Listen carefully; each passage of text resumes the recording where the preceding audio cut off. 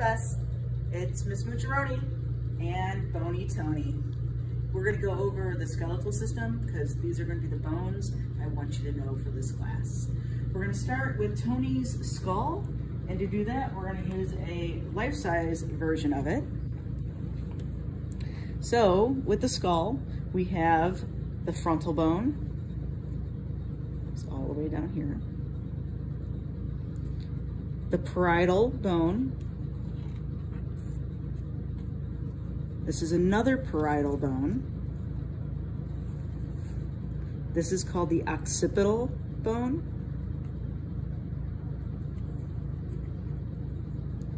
The temporal or temporal bone. There's one on the other side as well. The cheek is called the zygomatic bone. Here's another zygomatic. This is the nasal bone. The maxilla is right here. The jawbone is the mandible. Then on the orbit of the eye, you could see a couple different bones. They're hard to see on this, but this one right here, this little tiny tall rectangular one, that's called the lacrimal bone. Lacrim means tear. Think about your tears falling from that point. The lacrimal bone. And then behind it, there's this bone right here this is called the ethmoid. And then there's one back here, which can also be seen over here. It's a bigger bone than it seems. This is called the sphenoid. So this bone is a sphenoid and it kind of continues on in here. It's a three-dimensional bone and some of the resources I gave to you will show it in its three dimensions so you could understand that better. And lastly is the bottom where your spine goes into your brain. This hole is called the foramen magnum. And those are the bones of the skull. The skull is also part of what's known as the axial skeleton. So looking at Tony, the axial skeleton includes the skull, the vertebral column, the ribs, and the sternum. And so let's do the ribs.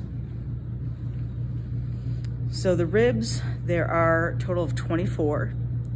And the first seven that are directly connected to the sternum, which is this bone right here, these are called true ribs because they directly attach to the cartilage to the sternum. This cartilage is called costal cartilage. So one, two, three, four, five, six, seven, these are true ribs. And then we have false ribs, which are everything else that's below that. So 8, 9, 10, 11, and 12 are all false ribs. And that's because they do not connect directly to the sternum.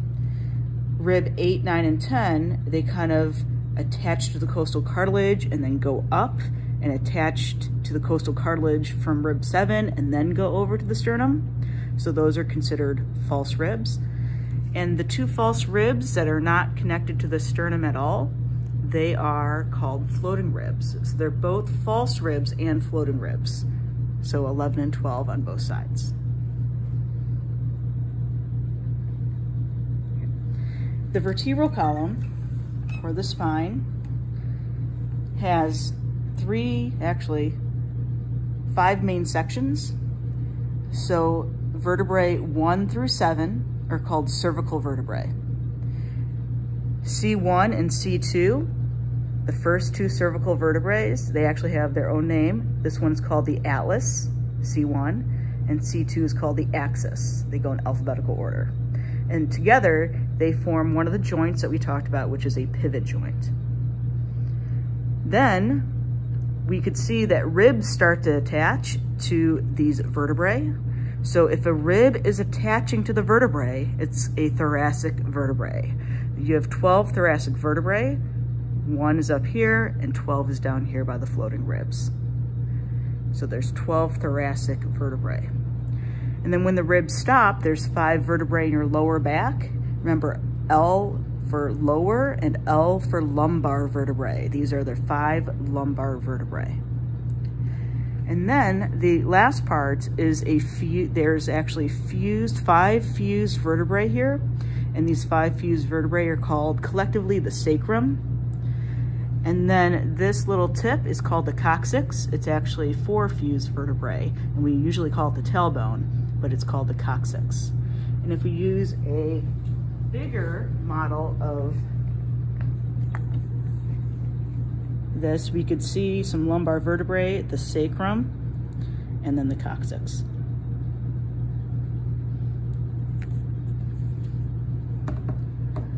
The rest of the skeleton is known as the appendicular skeleton.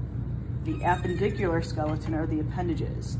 They include the shoulder, the arms, the hips, and the legs. So let's start up here by the shoulder and do the appendicular skeleton.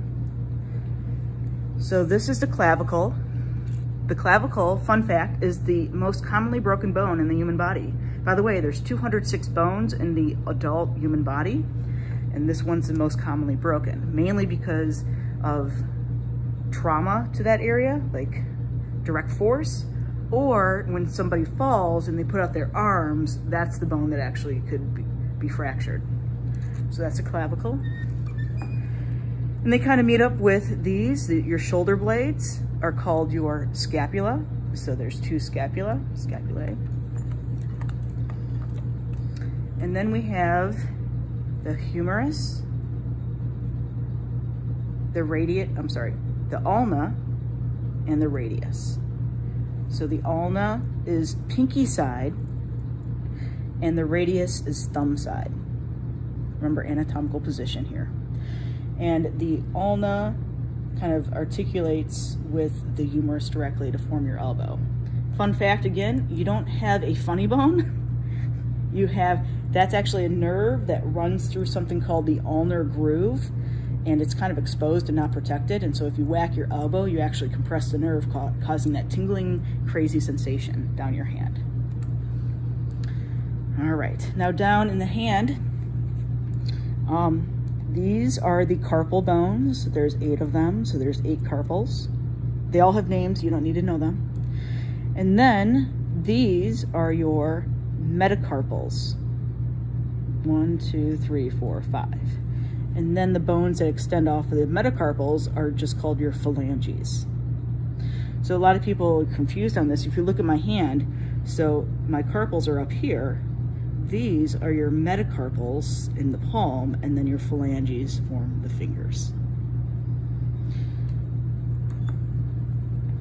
All right, down in the lower half, the hip bone is, there's actually a couple different bones in here that fuse. You don't need to know the names of them, but collectively the hip is called the coxal bone. And then we have our leg coming off of the coxal bone. So the leg has the largest bone in your body, which is the femur. Your kneecap is called your patella. Your shin bone is your tibia. And the smaller bone on the side is called your fibula. So tibia, fibula. And then they will articulate and form joints with the ankle bones called your tarsals these are the metatarsals, and then your phalanges again, but phalanges of the feet instead.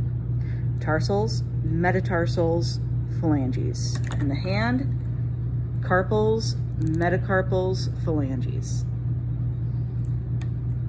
There is one bone that is not shown in the skeleton because it's the only bone that doesn't touch any other bone in the body.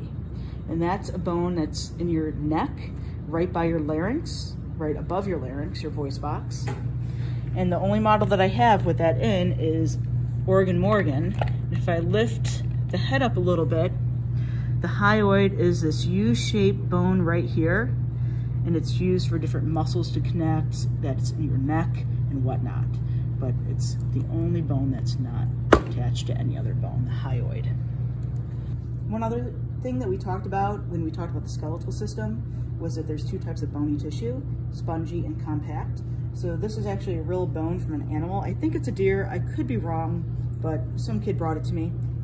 And there were there was another one too. He bought me two. So cut I cut one of them open so you could actually see the spongy bone versus the compact bone.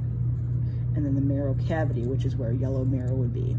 Whereas the spongy bone is typically where we, where we find red bone marrow, which makes new blood cells. The yellow bone marrow found in the cavity would store fat.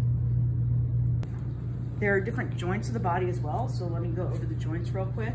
Um, the samples that I have in class are freely movable joints, which means they allow the most, most movement in more than two directions. And so I have right here this joint, which is your elbow. This is a hinge joint. It has the humerus and then the ulna and the radius. Here's another hinge joint, which is your knee. You can actually see the articular cartilage here, which is a type of hyaline cartilage. When that wears away, that's called arthritis, when bone rubs on bone. So your femur, your patella, your tibia, and your fibula. Here's the hip bone, which is a ball and socket joint. Big range of motion. And this is part of the coxal bone, and then your femur. And this one's your shoulder joint, and another ball and socket. This is the clavicle, this is the scapula, and this is the humerus. And those are the different bones of the body.